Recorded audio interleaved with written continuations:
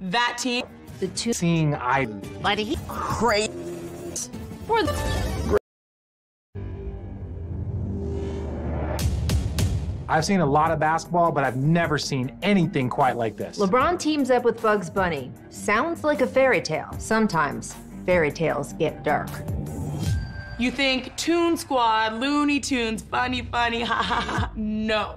That team was all drama. This was easily the biggest challenge in my career. Tantalizing story, ain't it?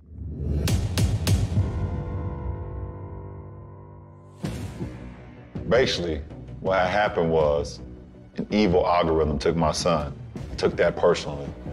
Yeah, I don't like that term evil. Let, can we say sinister or maybe nefarious? I mean, egomaniacal? So many better words. So I had to team up with the Looney Tunes in another dimension so I can get my son back, simultaneously saving the Looney Tunes in their world. LeBron needed help. The Tunes needed LeBron. It just made sense. Kind of. We needed someone who could play ball and act.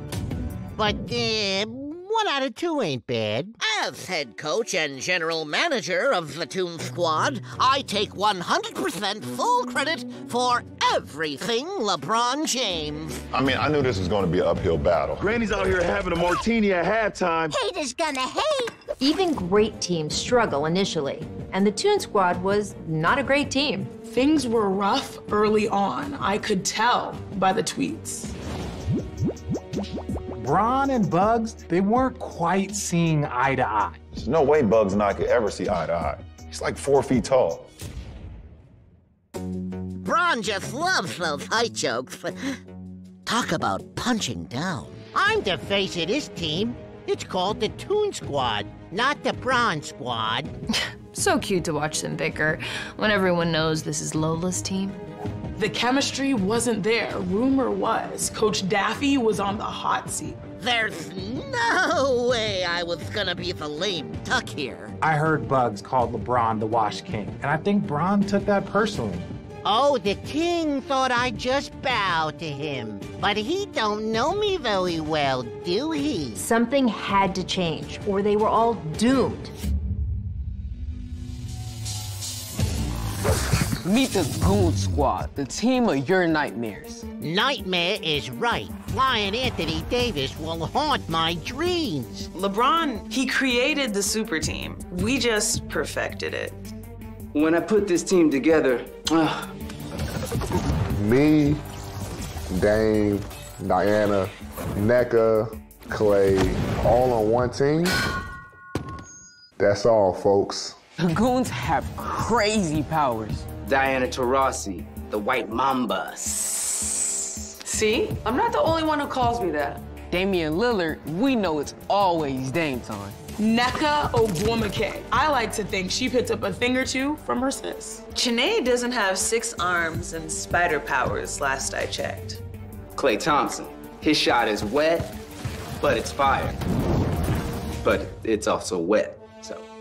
This is the toughest team that Bron has ever faced. The Goons are unstoppable. Al-G doesn't miss. Any other teams need some help?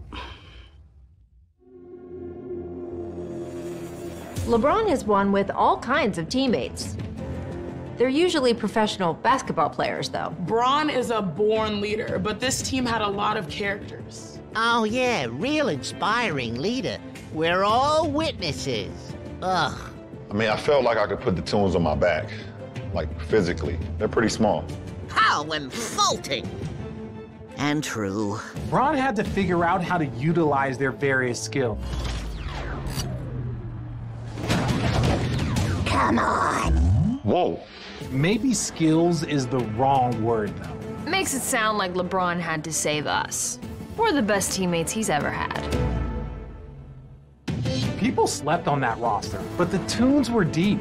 Bugs, Lola, Tweety, Sylvester, Porky, Wiley, Speedy, Taz. Who takes the last shot, though? I mean, LeBron, he's gonna be doubled, and we know he's going to make the right play. When it's crunch time, the ball is gonna be in my paws. These white gloves were made for hitting game winners. Oh boy. Not this again. The tension was real, even if the players were cartoons. What was the key to bringing this team together? Two words. Lola Bunny. Greatest sidekick ever. Man, that's cold. You know, don't love the sidekick label, but we'll let it go because it's Bron. Lola Bunny, so much respect. She's a hooper I want to grow up to be. Lola made that team click, but LeBron was playing for something bigger. The driving motivation for LeBron has always been and will always be his family. Oh, uh, kinda schmaltzy, ain't it, Doc? My son means everything to me. He's more than just a name I write on my sneakers. Oh, brother. LeBron's played in big games, but never with his son at stake. That would normally be frowned upon. Now that's pressure. I'd do anything for my kids. In this case, I have to play basketball, which is convenient. And I'd do anything for a wheelbarrow full of carrots. Can we win one of those? I thought we were done with the legacy talk, but here we are again. LeBron versus another unbeatable super team. How many more defining moments can this man have in his career? Not one, not two, not three. Y'all, this game is gonna come down to the bunny and the goat. You heard me right, the goat. And the nickname. What's up with that? I understand why you're going with the goat, but the bunny? That's the best we could do? Bunny, goat, duck, buck, doesn't matter. We're gonna win, and I'm gonna save my son. Oh, yeah. We'll see about that.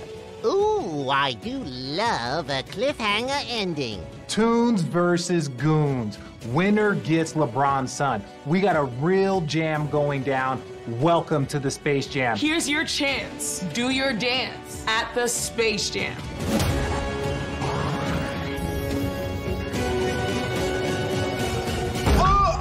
Yikes.